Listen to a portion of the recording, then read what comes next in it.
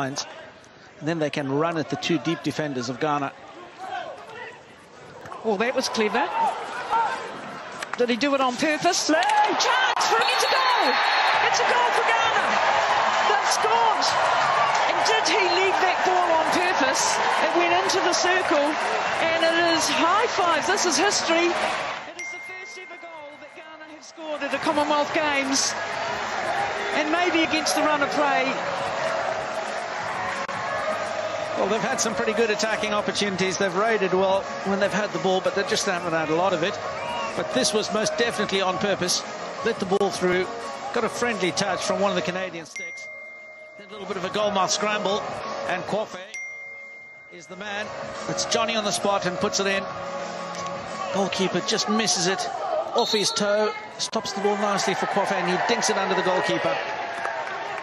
Ghana. What a fairy tale. Oh, fantastic fairy tale, 1 0. And I loved how he picked the ball up straight away, put it in the, got it in the net, picked it up, and ran back and enjoying the celebration. As well issued.